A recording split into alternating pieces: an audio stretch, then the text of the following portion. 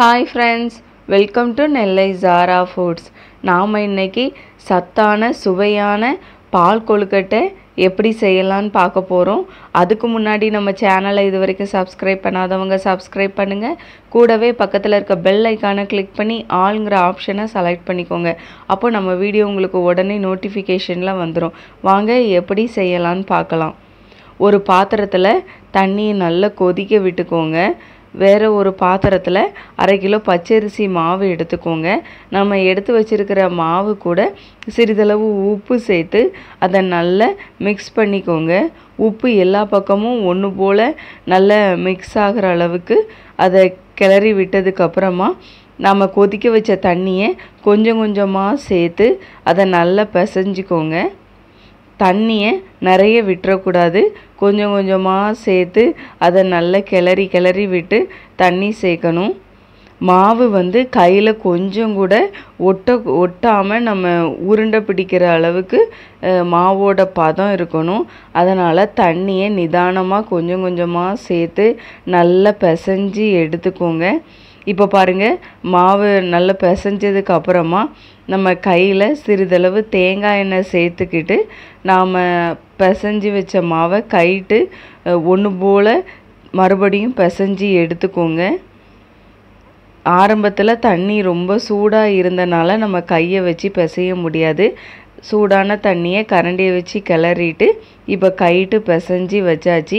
இப்போ பாருங்கள் எல்லாம் ஒன்று போல் பிசைஞ்சு கையில் ஒட்டாமல் உருண்டை பிடிக்கிற பதத்துக்கு நம்மளோட மாவு ரெடி ஆகிட்டு இந்த அளவுக்கு மாவை பிசைஞ்சி வச்சுக்கிட்டு நாம் அதை சின்ன சின்ன உருண்டையாக உருட்டி ஒரு பாத்திரத்தில் வச்சுக்கிடணும். இப்போ பாருங்கள் அழகான குட்டி குட்டி பால்ஸ் மாதிரி ரெடி ஆகிட்டு அடுத்ததாக வேறு ஒரு பாத்திரத்தில் முந்நூறு கிராம் அச்சு வெள்ளம் எடுத்துக்கோங்க. அது கூட நூற்றி ஐம்பது எம்எல் தண்ணி சேர்த்து அடுப்பில் நல்லா கொதிக்க விடுங்க. அச்சு வெல்லம் எல்லாம் கொதித்து நல்லா ஒன்று போல் கரைஞ்சி வர அளவுக்கு அது கொதித்ததுக்கப்புறமா அந்த அச்சு வெல்லத்தை வடிகட்டி வேறு ஒரு பாத்திரத்துக்கு எடுத்து வச்சுக்கோங்க.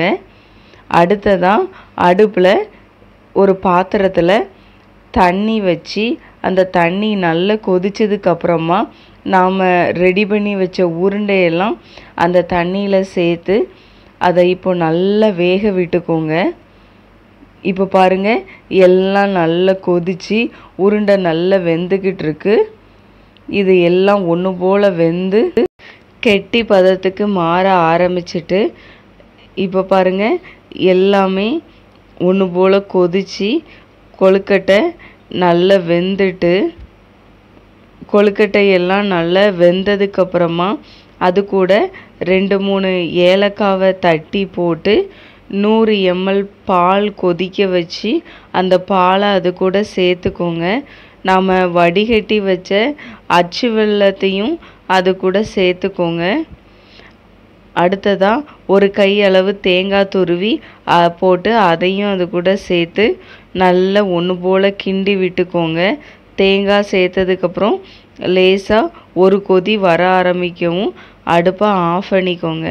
ஓகே ஃப்ரெண்ட்ஸ் நம்ம எதிர்பார்த்த டேஸ்டியான சத்தான பால் கொழுக்கட்டை ரெடி ஆயிட்டு இதே மாதிரி செஞ்சு பார்த்து கமெண்ட் பண்ணுங்கள் இந்த வீடியோவை ஷேர் பண்ணுங்கள் லைக் பண்ணுங்கள் நம்மளோட மற்ற வீடியோவையும் மறக்காமல் பாருங்கள் தேங்க்யூ ஃப்ரெண்ட்ஸ்